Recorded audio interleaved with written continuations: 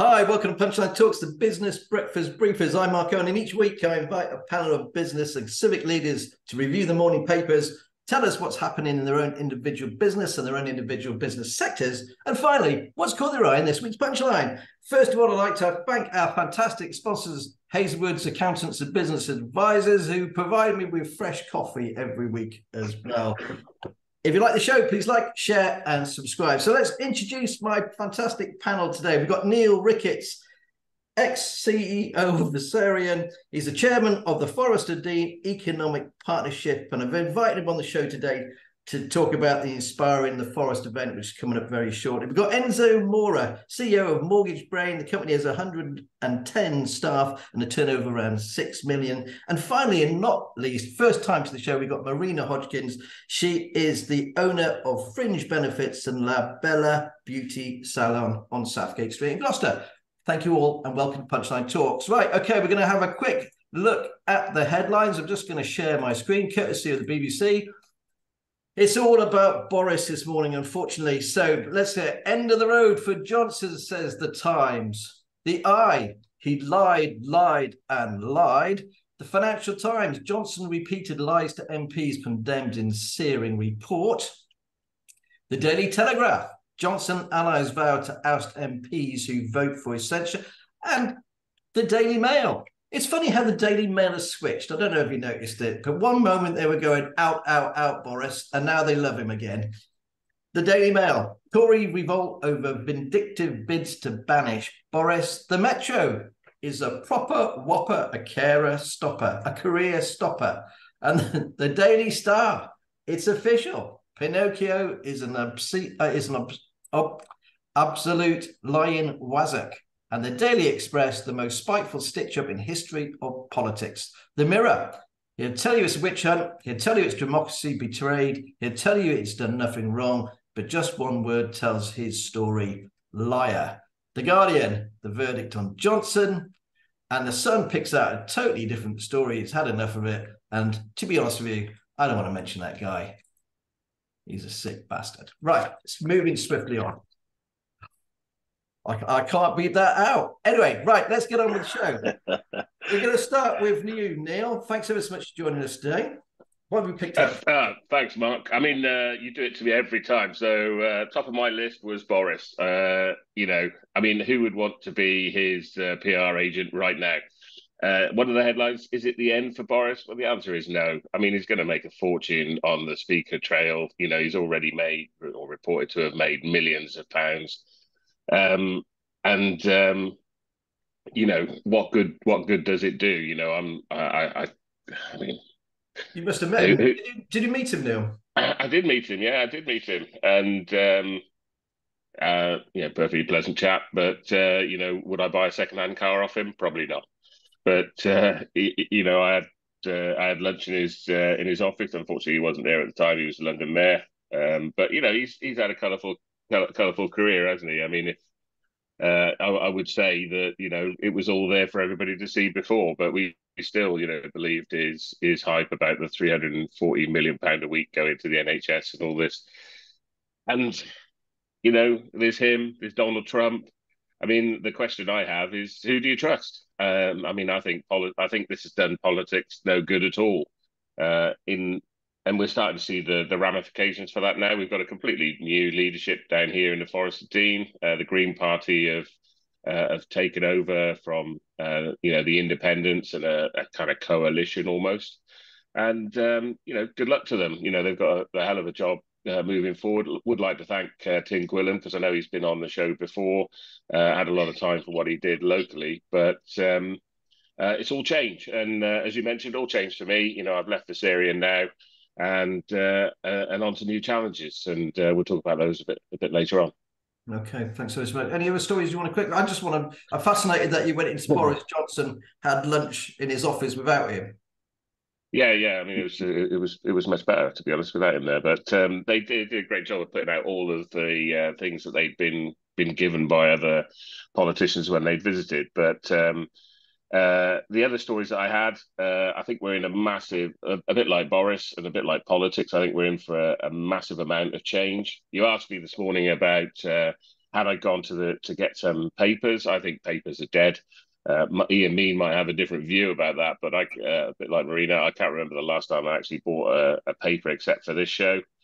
Uh, the, the really worrying thing for me was uh, a story on Sky, which was about um, the number of pupils which are, are missing uh, that have just dropped off the radar. And, you know, what are those guys going to be doing in the future? Uh, because without a good education, without a basic foundation, it's very hard for them to be employable. And does that mean that we're going to have a, a whole generation uh, that are not only affected by COVID, but also um, by, by not having this education? I think one of the really interesting things, and, and we can talk about this, is about the, the impact of AI. And, um, you know, I did turn to AI this morning, and, and you're, you're pretty lucky that uh, it, it, didn't come up with the, the, the best stories in uh, in Gloucestershire for business today. Otherwise, you know, Punchline's days are finished. But um, it, it won't be long until you know we're all replaced by avatars or or people you know what, what is our position in society moving forward you know uh, a lot of industries are going to be massively impacted by ai and uh, and and you know i think you either embrace it or you become a victim to it uh, marina's in a great position because we need our hairs cut you know but what what industries will be replaced by uh, by ai anyway those are the Thanks. stories i've got well, I think we'll have to stop you there. Thanks ever so much. Otherwise, uh, you know, over, there, there are other people on the show. Right. Anyway, let's go. thanks. Thanks ever so much, Neill. Enzo, great to see you again, mate. Thanks for joining us today. What have you picked out from the papers? Morning, Mark. Um, uh, paper wise, uh, I subscribe with the Times, so I've got uh, a few articles uh, from there. Uh, Hollywood star Al Pacino becomes father again at 83. Wow. I, I, just find that amazing, fascinating that 83 um, he's still going strong. It's his fourth child. I don't think um, be, I don't think he'll be doing a lot of childcare though, really. Not for long. Uh, well, he's got a younger wife. She's only 29 years old. Maybe that helps. I'm not going to say anything. um, Another story: uh, there was an under twenty three uh, cycling championships in uh, France, I think uh, uh, in Paris, and um, thirty riders was disqualified because they were hanging on to uh, the car that was taking them up the hill during the race. I've got Italian background, and unfortunately, twenty four of the riders were Italian, no English. Well, we don't like to cheat, do we? Let's be honest about it. And then uh, a, a, weather story. Um, it caught my eye because there was a picture of a Doberman, and it's about uh, dog bites more common during warmer weather. And uh, it likened uh, dogs to uh, men. Apparently, we get quite angry when the uh, the weather's hot. So be careful of more dog bites during the next few weeks. Okay, a, a, real selection of different stories there. Thanks for that, Enzo. Right, let's go over to you, Marina. What have you picked out from us today? And welcome to the show for the first time, by the way. Oh, thank you. Thank you. Lovely to meet you, Mark, and everyone. Um, and hello again to Enzo. Um, I picked up about uh, Gwyneth Paltrow's uh, daughter, Apple. Obviously, fashion is my thing. and uh, I love the fact that she has uh, recycled her dress. Um, it's you know, Gwyneth Paltrow used that dress at the Oscars, uh, and her daughter is in the same dress on the left. You know, and it fits her. Doesn't she look bloody amazing? yeah. You know, would you would you wear a suit that was your dad's? uh, I, I might, well, no is the answer to that. Uh, I couldn't get into my dad's suit. No, I just think it's great to recycle. Um, you know that that is my thing, recycling reusing, saving money, you know, helping the planet. And I just think she looks amazing. And, you know, the Gothic dress was worn in 2002. So, um, you know, they, they, they, she was critic about it, critique to saying that it was an unflattering disaster.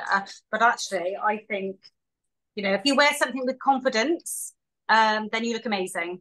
And That's right. That, you know, and, and, with good hair, obviously, if you've got good absolutely, hair, you know. Um, one of my stories was Boris, but oh, I did have backups because I thought that would be Oh, that's okay. Um, what's, your, what's your what's your opinion on Boris going then? Do you think it's a stitch up? Do you think it's a good thing? But what is it? I just think it's it's just more and more hype over it. You know, it, it's done. You know what? You know where is he going to go? Like uh, Neill said, he he's going to come out Trump's, isn't he? You know, there's there's where's it going to take us? Right. I'm a Boris fan. Really? Yeah. you could be a Boris fan or a bit of a Boris fan as well. Uh, I, I, I, met him. I really found I really found him fascinating and engaging and, and very funny. And he was a showman at the end. He definitely needs a good haircut. Well, well, actually, they they actually they style his hair to be like that. Believe it or not. Uh, and so there's a there's a great story about uh, Lewis Hamilton. So I was involved in the racing industry with one of your firms focused in here, actually, Powitons. And uh, Lewis Hamilton, when he was a younger driver, they his helmet was yellow, and everyone else's helmets were white. And when when his dad was asked why his helmet was a different color because everyone else had white helmets, it's because it stands out. And that's the same with Boris. You know, you need sometimes you need something which makes you stand out. And I think that's part of his image. I, I don't think he's actually like that. And when I've met him, he's not he's not the same character you would imagine. He's very, very intelligent. He's very personable. And and I think it's part of the showmanship that, that Mark mentioned. Um, when everyone, you know, has their opinion, don't they, of a certain person. You should never judge a book by its cover. Well, that's right. I mean, no, most people don't. I'm fortunate enough to meet him. I, I met him three times, uh, and like I said, and it, what I liked about him, he gave he gave me a 15 minute interview and, and not many other people, you know, prime ministers who get to do that really. Um, anyway, no, thanks ever so much for that. We're going to quickly go into uh, to to talk uh, about our individual business sectors. Uh, so Neill, it's great to get you back on. Obviously, you know, we, we won't go into Versarien today. We know what's happened there. We know you've moved on from it as well. You're still a director of the company, aren't you? Yeah, at the moment, yeah, I'm still the director of the company. I'm still trying to help as much as I can. Obviously, got a lot of time for the company having set it up. Uh, still the largest shareholder, so got a vested interest in uh, in making sure that it's successful. But time to move on. Lots of things going on in the world. Uh, lots of challenges. So what, and, have you been, um, what have you been doing with yourself, mate? Since you since you sort of stood down. Uh, so um, Forest Economic Partnership. Uh, it's a really challenging time for small business in the area. I think uh, interest rates, cost of living, labour rates, all of these things. Uh, trying to help the growth hubs with uh, with companies. Spending a lot of time talking to a lot of my friends that are running businesses at the moment, offering them a bit of free advice, uh, offering to to sit and talk to them because I got to be honest, women are better at talking to each other than men are. Men you always ask them, "How are you?" and they'll always say, "Yeah, I'm great. I'm fine." Uh, and sometimes that tells you everything you need to know because uh, it is it is a tough time at the moment. It's tough for the youth as well. So I'm spending quite a lot of time. We'll talk about forest inspiration. That's been a big project of mine recently. Uh, and I'm also doing a lot of learning. So I'm learning about AI. I'm learning about how the future's going to, you know, going to pan out, how it's going to, how it's going to look. And uh, at the end of the day, I've got seven kids as well. So uh, you know, I, I, lead a busy life as it is without uh, without having to work. Well, just going to Inspiring the Forest uh, event, what exactly is it and when's it happening? Uh, 30th of June. Uh, I did pick it out as one of my punchline stories, but um, 30th of June, we're at the uh, Cinderford campus for Gloscol. Really appreciate their help in pulling this event. We've got something like 800 kids, 750, 800 kids coming and talking about careers because, you know, kids don't you, you don't know what you don't know do you? I mean when you were at school you know did, did did you think you'd be a hairdresser or did you think you'd be a mortgage advisor or did you think you'd run a manufacturing company? You know we don't know what we don't know. And so it's important that kids get to talk to people. It's important that they get to talk to apprentices students. Uh, it's you know get a really broad kind of uh, uh, experience of of what's out there and for the Forest Dean, it's really, really important that we retain those skills within the forest because, you know, a lot of our uh, demographic leave to go and uh, go to university or go and find jobs. You know, they're coming to Gloucester, they're coming to Cheltenham, Bristol, uh, down into Wales, and we don't we don't see them again. You know, so we've got an aging population here in the Forest of Dean, and so there's some great businesses in the Forest of Dean. No one ever knows that the biggest tea bag manufacturer was always in the Forest of Dean. If you drove when I was an apprentice, when if you drove a Ford or a Vauxhall, its camshaft was made in Lydney. all the all your blackcurrant is made in Coleford. You know, people don't understand this. We had, you know, the the the the European headquarters for Rank Xerox was in Mitcheldean, and they don't know about these great jobs out there. No, that's very that's very true, and it's a fantastic event. I went there last year. Punchline is supporting it again this year. We'll be there on the day as well, and uh, and I know the fantastic work that you've done behind the scenes there, Neill. Anyway, we're going to have to move on. Thanks ever so much for that for now. Uh, Enzo, let's go back over to you, please, mate. Let's be honest, the, the mortgage rates are crazy at the moment. We there's a there's a piece in the uh, there's a piece in the hold on a second, I've got it here actually in the nation nationwide is the latest lender to raise mortgage rates again. You must be sick and tired of hearing this. I am, yeah. Um, started last September when Liz Truss came into uh, power and Kwasi Kwarteng uh, announced the uh, mini budget. Um, fixed rates, you were able to pick up a five year fixed rate back then at uh, well under 2%. And uh, all of a sudden they jumped up to 6.5%. So business fell off a cliff uh, in the last quarter of last year.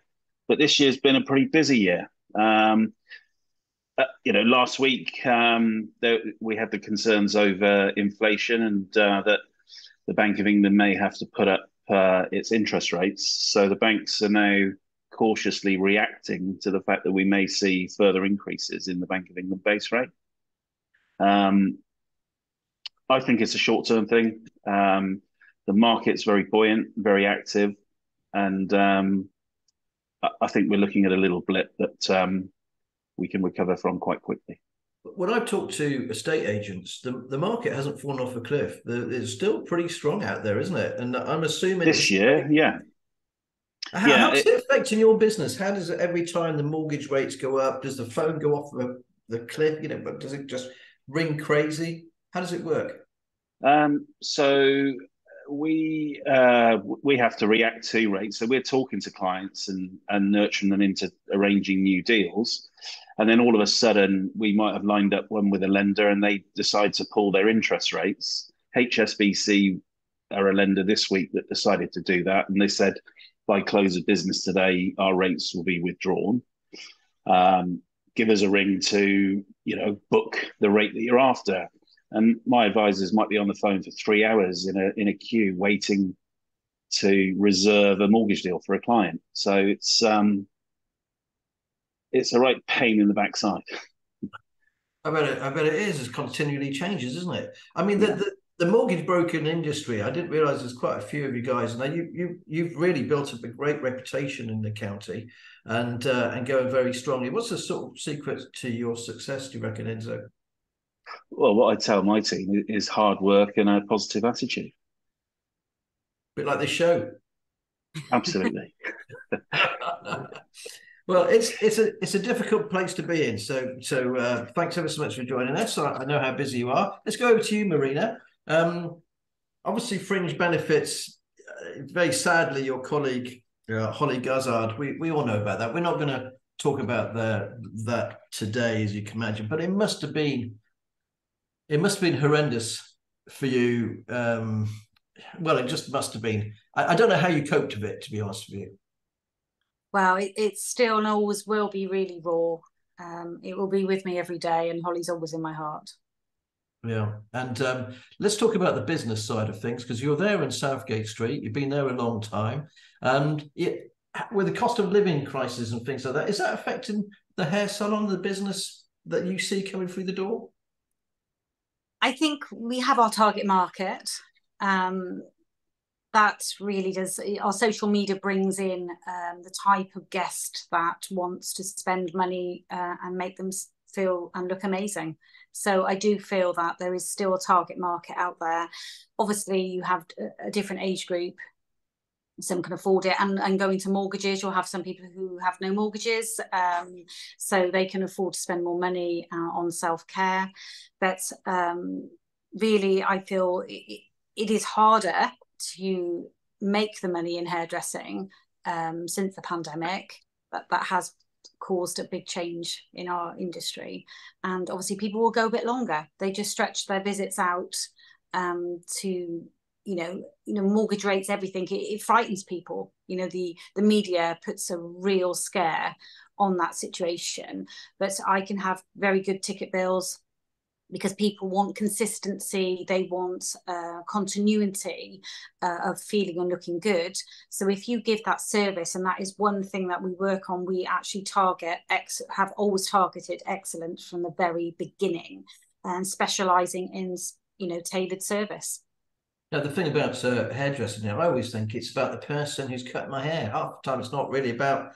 It, it's all about that personal getting on with the person and, and chatting to them, isn't it? You've got to be sort of psychiatrist. Uh, Absolutely. All, all, sorts of things going on, isn't there? it can be quite um, mentally exhausting at the end of the day. as well as you must hear everyone's problems. Oh my gosh, yes. Sometimes I do feel a little bit drained. I'm I'm very good because I'm very neutral to anyone's um, problems, but and I don't I don't gossip. That's one good thing. You shouldn't gossip. Uh, I can't remember. I talk to too many people, so I would get it all wrong and tell you the wrong information and look very silly. um, let's quick talk about the high street itself because footfall in the city itself. How are you finding that? Because you're on Southgate Street. You're in a fortunate position there, aren't you? We're very lucky in Southgate Street. I do feel the footfall is uh, pretty high. Um, However, it sometimes isn't, you know, with, with shops closing, with businesses uh, dying, that doesn't help bringing people in. And the cost of uh, parking charges increasing isn't helping. So people, that is, you know, a big topic of conversation with my guests when they arrive. Oh gosh, the car park's gone up even more. And if someone someone was in the other day for a massive uh, service, a six-hour service of a color correction, they have to pay for the day. Right. Okay. I mean, I would have. Yeah, it's just stop people coming into the city, isn't it? But it's we a problem. Need... It's a problem in every town. Absolutely. I think um, I have visited um, towns such as Tetbury, not for a while, but they had a very good pricing um, per hour. They need yeah. to bring the costs down. They need to encourage, you know, be great for the bid to have like a, a business card for people coming into businesses at a discounted rate or you know, elderly between nine and whatever, 12, the, the, the elderly don't have to pay for parking.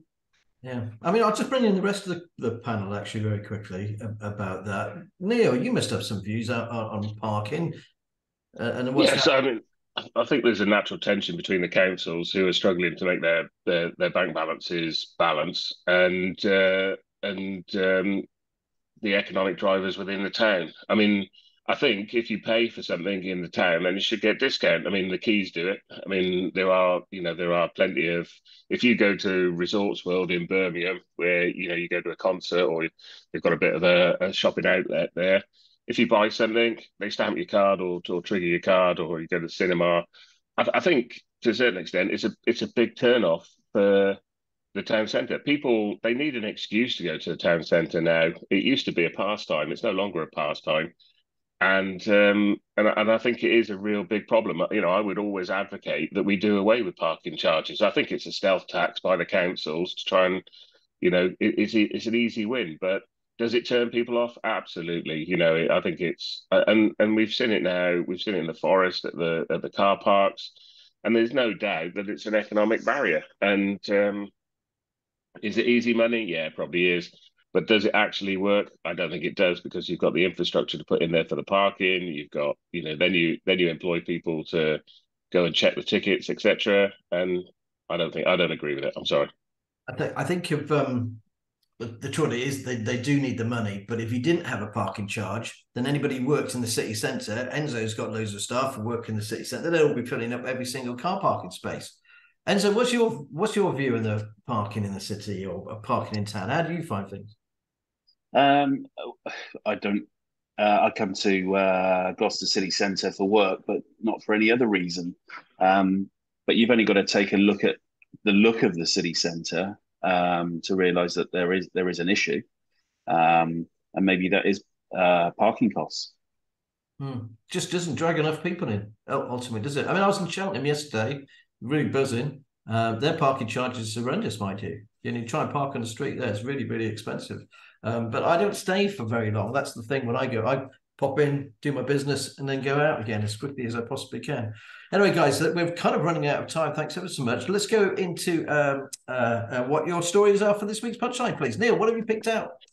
Well, I, I, did pick out Forest Inspiration, but we've talked about it already. So the the next biggest story I saw for the Forest of Dean was the three hundred thousand uh, grant that they've been awarded at the local council uh, in order to to do some training around net zero, which I think is a is is probably a big problem and uh, not talked about enough. So the idea is that the planners and the people within the council start taking on board some of these net zero uh, initiatives and and fully understand them because I think there's a there's a lack of information, a lack of uh, a kind of uh, coordination in that area. But that, that was what I picked up, Mark. Okay, no, thanks, brilliant. Uh, Enzo, what have you picked out for this week's punchline, please? Uh, there's a story titled "More Night Closures for Llanthony Road." Yeah. Um, I'm a, a, a, Hempsted resident, and uh, the roadworks that have been going on there for forever are uh, are a pain. I'm just hoping that um, it's all worth the effort when they finish. I, I just look at that road, right, and think they're going to come to the end and it's all going to get blocked up again. I know. But that that corner by um, by Sainsbury's was pretty dangerous, though, was it? The amount of accidents that were happening, it just didn't work out where you got squeezed in in at one point, but you're going to get squeezed in at the other point. I think they're just moving the problem along. Oh, that, that, that is the impression that I get. But hopefully, um, they've done their homework, and uh, you know, moving it 100 meters down the road uh, will make a huge difference. I hope so. I, I don't know enough about traffic flow, but we'll soon see, won't we? We'll soon see. You are right. It seems to be going on forever. The most happiest person I know is Nick Brody from Avenue Cars, who sold that business. Happy days, Nick. I never seen a man so happy. Anyway, Marina, uh, what have you picked out from this week's punch, please? Wow, I printed it off. It's the giant puppets. Invite yeah, people celebrating Gloucester. I think that is really spot on to try and get. I was only talking about the carnival recently, how it years ago used to have Miss Gloucester on it. You know, it, it's definitely died. But uh, Farah arrives in Gloucester on July the 1st and she'll be welcomed by the city uh, by Sabrina, the spirit of the River Severn. We just need more footfall to invite more people into the town really you know just try and get bums on seats in in any business really not just in ours you know we, we want we need more events don't we that's that's that's the thing and that's uh, maybe uh, uh, and also more publicized it's not publicized enough it's not and do you know what it's one of my bugbears is unfortunately they don't want to spend any money we run the story we run that story free but we can't run everything free it's a simple. But who, who would know about that? My guests wouldn't know about that coming into the salon. Well, and I give, them, I give them out punchline. Yeah. Well, I'm loving you even more than I used to. No, no uh, thanks ever so much. Thanks ever so much. My story of, of the day actually is was an event I went to. Funny you mentioned about net zero. It was actually the state sustainability at the top of business agendas. It was an event I went to on Wednesday, uh, organised by Marsh Commercial, and a fantastic venue at Hawkwood uh, College just outside Stroud. And we had some really great guest speakers who talked about sustainability, who talked about net zero, who talked about those issues about fossil fuels, bank and stuff, all, all sorts of very, very interesting angles, which I'd never really thought about before. It was a very thought provoking event. Anyway, that was my story of the week as well. Anyway, thanks ever so much my, my fantastic panel. I'd just like to thank our, our sponsors, Hazlewoods Business Accountants and Business Advisors, and for you for watching the show. If you like the show, please like, share, and subscribe. And we'll see you again next week. Thanks very much. Bye.